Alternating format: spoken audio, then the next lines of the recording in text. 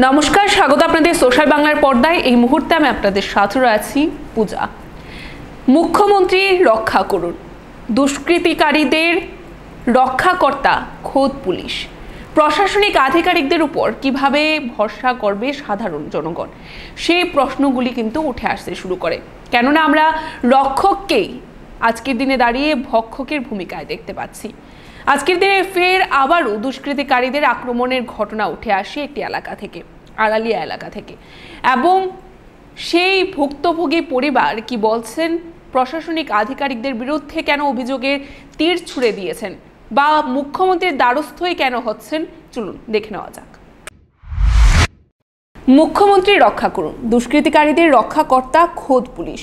আড়ালিয়ায় আবারও রাজনৈতিক সন্ত্রাসের শিকার ব্যবসায়ী সুভাষ দাস এবং তার পরিবারের লোকজন।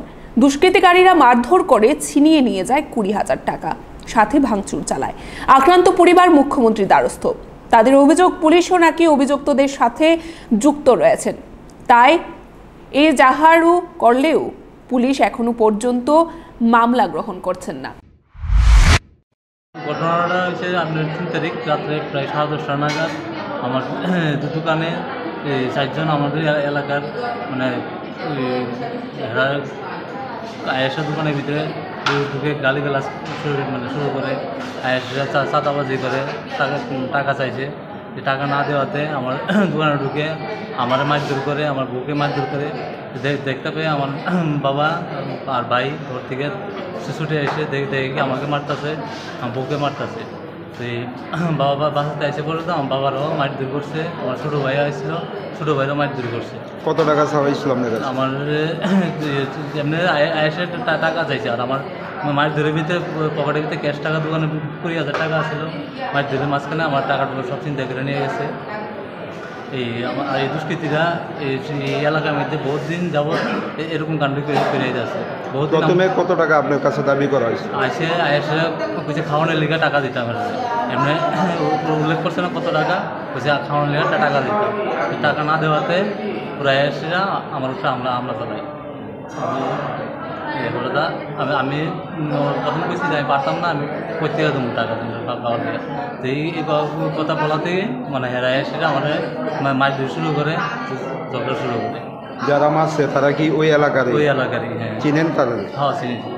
আপনি কি কোনো মানে রাজনৈতিক দলের সঙ্গে জড়িত? রাজনৈতিক দলের সঙ্গে জড়িত বলতে আমি এমনিতে এই যে রুলিং পার্টি এরা সব সমর্থন করি, কিন্তু এরা যে এই এলাকার যে দুষ্কৃতীরা যাবত অনেকদিন যাবতীয় সবার সাথে এরকম করতেছে, চাঁদাবাজি করতেছে। সব সবার সাথে এলাকার মধ্যে। যেহেতু আপনি শাসক দলের কর্মী বা এই দলকে সমর্থন করেন তারপরও আপনার কাছে এরকম মানে টাকা দাবি করার কারণটা কি? টাকা দাবি করান এরকম এরার অ- অভ্যাস এরকম। এরা আপনার এই তেইশ আওয়ার পর থেকে এরা এই অশৃঙ্খলা এলাকার মধ্যে করতেছে কিন্তু যারা এই দুই হাজার আঠারো আইসে পড়াতে কিন্তু এরকম আমাদের এলাকাটা ছিল না। কিন্তু এই যে এই দুষ্কৃতীরা এই সিবিএম থেকে নতুন জয়েন করছে ইদানিং। জয়েন করে আসিরা এই তেইশের মধ্যে এরপর দেখা যাচ্ছে মানে পার্টির যাতে বদ- বদনাম হয় যাতে মানে দুষ্কৃতীরা একটা গণ্ডগোল সৃষ্টি করতেছে পার্টির বদনাম করানোর লেগে।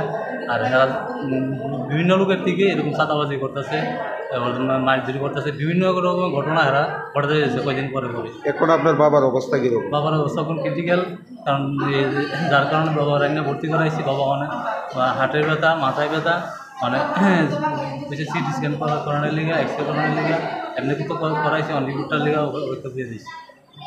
কতজন মিললে মারধর করছে? এখানে আছে চারজন লোক আছে। তাদের চিনেন আপনি প্রত্যেকে চিনি, সবাইকে চিনি। ঘটনাটা কোন জায়গা দোষ ঘটনা হয়েছে আমার দোকানের মধ্যে। আমার একটা মুদিখানা দোকান আছে, ছোটো ছোটোখাটো দোকান। প্রায় সময় আসে আসে গালি গালাস করে সবসময়। তো আমি কিছু কই না কোনো সময় সেদিনকে রাত্রে আসেরা বাড়ি ঘরের ভিতরে মহিলা মানুষ আছে। তো এই কথা বলার জন্য মানে এরা আমার উপরে খেপে গেছে। আইসি মানে একটা টাকা টাকা চাইছে খাওয়ার লেগা তা আমি তো না করছি তারপর তো আমাকে গালি গালাজ করে এবার ওদের বাড়ি ঘরের মা- মানুষ আছে আমি এগুলি কথা কথা কইছি দেখে এরা আমার উপরে চড়া হয়ে আসে মানে আমার আমার উপরে অ্যাটাক করছে আপনার দোকানটা এখনকার মতো সংবাদ এখানেই শেষ করছি পরবর্তী বিভিন্ন আপডেটস দেখতে অবশ্যই চোখ রাখবেন সোশ্যাল বাংলার পর্দায় নমস্কার हमारा और सेफ्टी का भी कुछ अजीब रिश्ता है सेफ्टी की तभी याद आती है जब लगे कि कुछ होने वाला है। कभी दिखती है ये प्यार में तो कभी तकरार में। कभी कभी तो हद ही हो जाती है। शादी के फेरों में भी इसी के वचन लिए जाते हैं। लेकिन हम जानते हैं कि सेफ्टी के साथ कॉम्प्रोमाइज नहीं किया जा सकता। स्पेशली जब बात आपके हेल्थ की हो। इसलिए हम करते हैं आपका ट्रीटमेंट होम्योपैथी से, जो है नेचुरल और effective medical system with no side effects यानी कि बिल्कुल सेफ़।